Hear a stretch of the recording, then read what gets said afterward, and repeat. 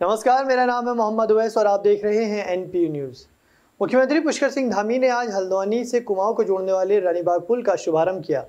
सात करोड़ सत्रह लाख की लागत से बने टू लेन पुल के शुरू होने से अब अल्मोड़ा, पिथौरागढ़, बागेश्वर, चंपावत और नैनीताल के पर्वतीय क्षेत्रों को जाने वाले लोगों को काफ़ी आसानी होगी। इसके बाद मुख्यमंत्री रोड शो करते हुए अमृतपुर पहुँचे, जहाँ उन्होंने जनसभा को संबोधित करते हुए कहा कि ये पुल कुमाऊं की लाइफलाइन है, जिससे पूरे कुमाऊं का कारोबार जुड़ा हुआ है।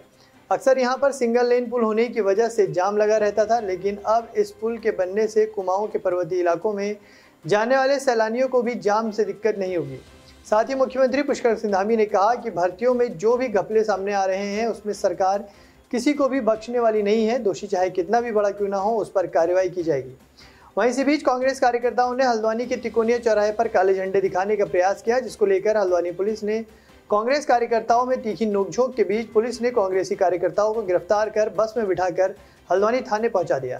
महँगाई से निपटने की। हाँ। हम मांग कर रहे हैं स्वास्थ्य सेवाओं को ठीक करने की। हाँ।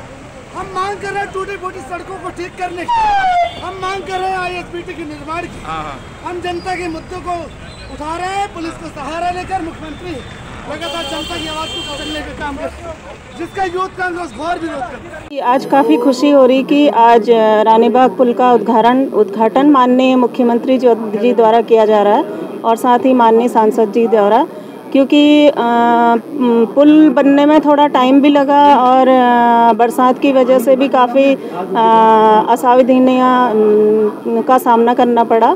और ये पुल जो है हमारे पहाड़ी क्षेत्रों को, हमारे व्यापारियों को जोड़ता है, क्योंकि सारे पहाड़ के जितने भी किसान होते हैं, उनका सारा व्यापार हल्द्वानी से जुड़ा है, नीचे प्लेन्स से जुड़ा है, जिन्हें काफ़ी दिक्कतों का सामना करना पड़ रहा था, उन्हें अपना नुकसान झेलना पड़ रहा था।